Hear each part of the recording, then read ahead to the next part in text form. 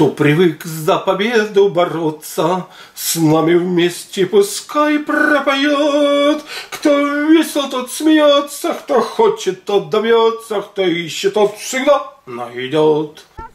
А, доброго здоровья, уважаемые посетители канала. Какая картиночка.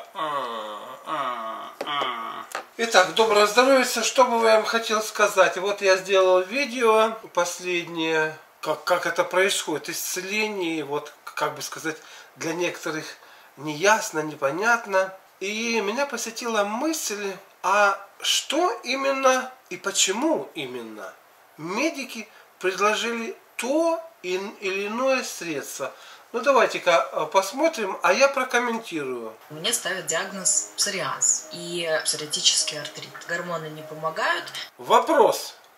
А почему назначили гормоны, которые не помогают? Вот почему медицина назначает гормональную терапию. Насколько я понимаю, они пытаются гормонами настолько взвинтить организм, что он якобы за счет этого все сам покроет, все сам там исцелит, все сам сделает. То есть гормоны дает, гормональный фон раз – за счет этого, значит, все основные процессы ну, в организме больше, сильнее, и это якобы должно принести эффект. Такая логика. Ну, сразу же говорю, а если организм стоячее болото, гниющее, то толку от этой гормональной терапии нет.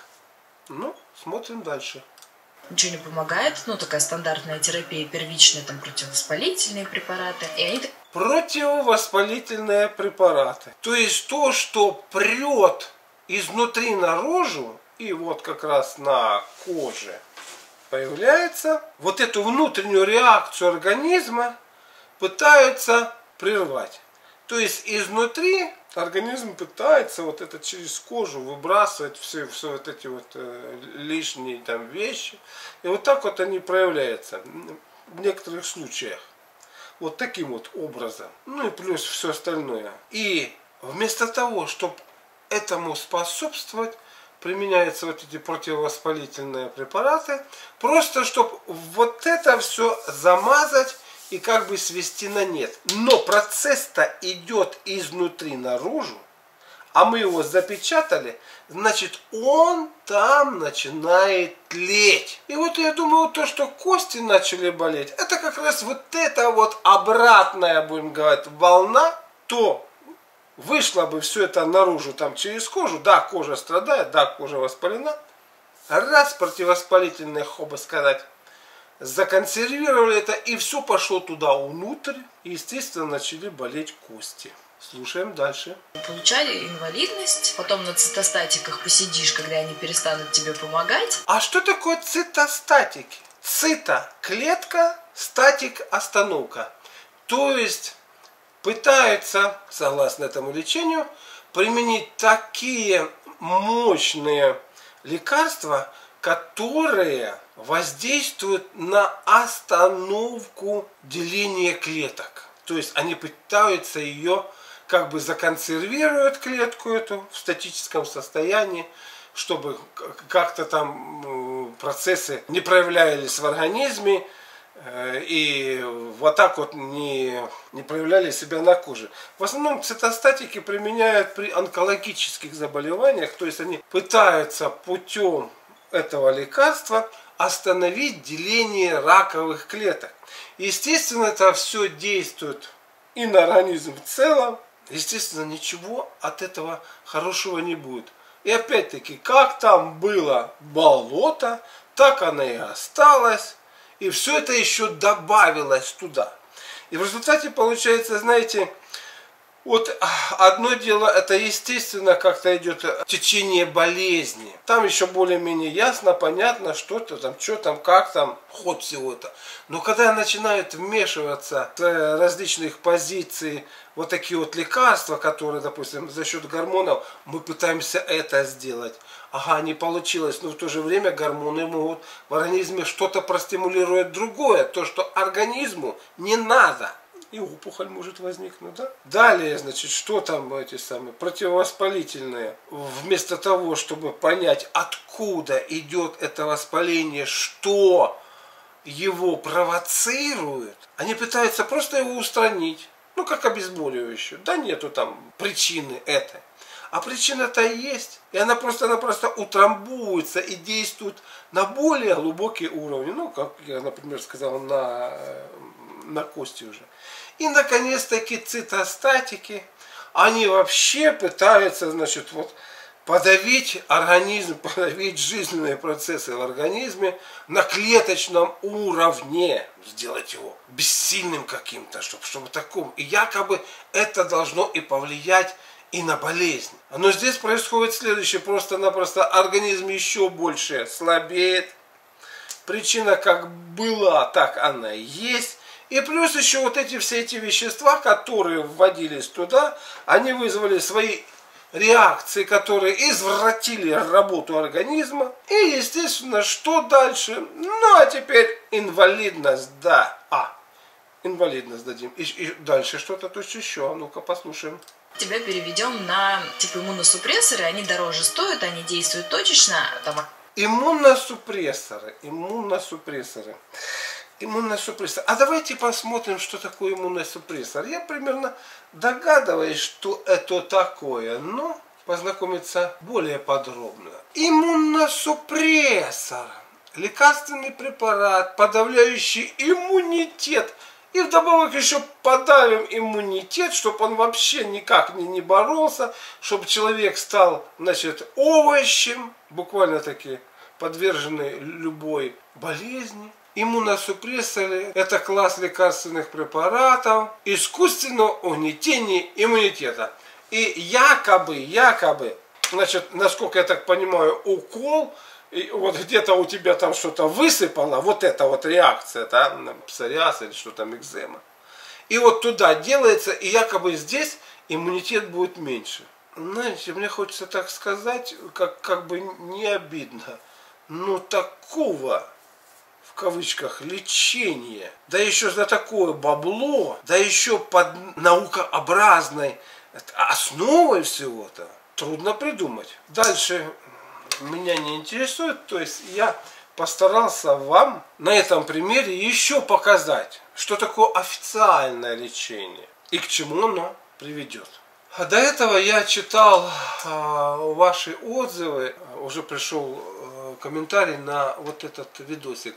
В 19 лет я оказалась в такой же ситуации, как эта девушка. Это был 1997 год. Три месяца хождения по врачам, профессорам, которые собирали консилиумы, назначали гормональные мази, якобы гормональные мази, знаете, они вот все за вас сделают. Вы только примите гормоны, они все сделают. Которые, разумеется, не помогали. И почему не помогали, я объяснил. Мама случайно нашла женщину, которая вылечила меня строгой диетой. То есть в чем смысл диеты? Смысл диеты в том, чтобы не вызывать зашлаковку организма. Можно так подобрать свое питание, что вы расшлакуетесь и прекрасно будете жить. После которой была чистка печени по Малахову два раза и все прошло. Ну, я как раз э, до этого говорил, что если мы почистим печень, то все идет гораздо лучше. Остались, конечно, дежурные бляшки. То есть вот эти бляшки как раз форпосты вот той болезни, которая, как бы сказать, затаилась но было покрыто все тело намного сильнее, чем у девушки на фото. Да, это была зашлаковка. Так вот, зашлаковка. А, я как раз ответил, что а вот что вы до 19 лет, чтобы вы понимали, как с этим заболеванием можно, будем говорить, бороться, чтобы его не спровоцировать в дальнейшем. Что у вас было до 19 лет? Как вы нажили эту болезнь. То есть это закономерно, вы ее нажили своим образом жизни.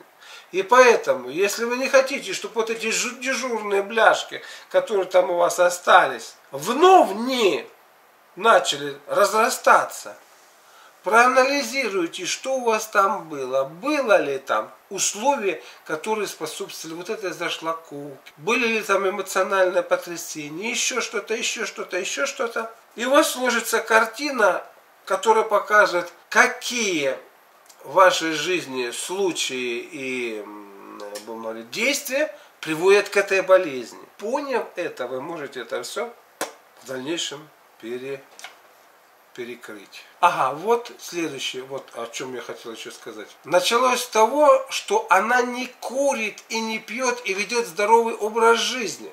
Это кажется человеку, что он явно что-то, ну, ну, говорит, не делает каких-то вредных привычек, и что вроде бы он ведет здоровый образ жизни. Но насколько это действительно здоровый образ жизни, это надо еще посмотреть. А в голове вопрос, как можно было заболеть. Анализируйте свою жизнь, как можно заболеть.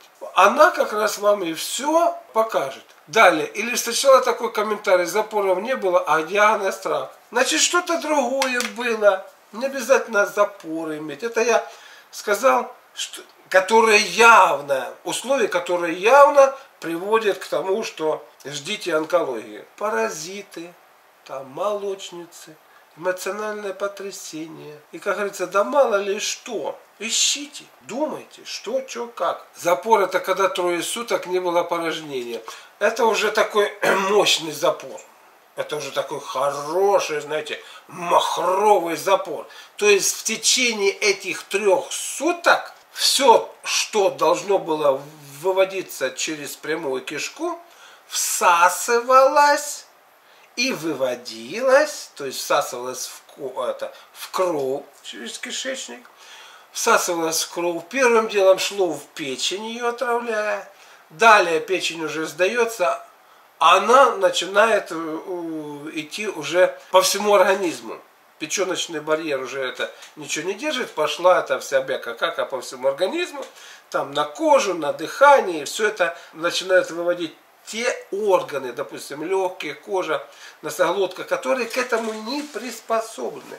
То есть это такой классный запор. Вот. Но еще бывает и задержка, когда, когда больше суток. Ну а теперь в соответствии с тем, что я сказал, в течение суток то, что должно у вас было бы выйти через прямую кишку, вы отравляли себя всего лишь на всего сутки. Ну, подумаешь там, ну, сутки какие-то. Но если это повторяется еженедельно, да хотя бы раз в две недели, и в течение всей вашей, так сказать, жизни вы считаете нормально, вот вам это называется скрытые запоры. А это же тоже фактор риска грозных патологии, ну, болезни. Да, конечно. Читайте, смотрите видосы Светоча. Так, дальше. Пишет, значит, Геннадий, вы правы, я вспомнила себя. У меня 20 лет была молочница. Вначале она сказала, что человек ведет здоровый образ жизни, это, как можно заболеть. Вот, а потом вот пишет, ну, как бы сказать, человек вспоминает. То есть, вы вообще сядьте и спокойненько проследите свою жизнь. И так вот она как раз рукоделие проследила, что вы правы, я вспомнила себя. У меня в 20 лет была молочница, далее жуткая стрептодермия, лечилась мазями. Мазями это значит Стрептодермия – бактериальная инфекция, поражающая поверхностную кожу. Наиболее распространенное проявление является желтоватые корочки на лице, руках и ногах. Реже могут появляться большие волдыри, которые поражают пах и подмышки. Поражение может быть болезненным или зудящим, лихорадка встречается редко. Смотрите, бактериальная инфекция, которая якобы поражает поверхностную кожу. Но если она имеется на коже, то она имеется и внутри организма. Лечилась мазями. И вот эти, опять-таки, мази могут загонять инфекцию просто-напросто туда, поглубже, в организм. И там она начинает тлеть и по-своему уже распространяется. Вызывая то или иное заболевание, может быть даже намного сложнее и страшнее, нежели сама эта по себе стептодермия. Так, спустя 10 лет она вернулась и опять лечили мазями. Она вернулась. Да она никуда не делась. О чем я только что и сказал. Знаете, ну, ну Светоч, он, он Светоч, он в этом деле немножечко, так сказать, соображает. Просто-напросто то, что было, внутрь, внутрь загнали с поверхности, потом создались условия, и все это вновь выплыло на поверхности.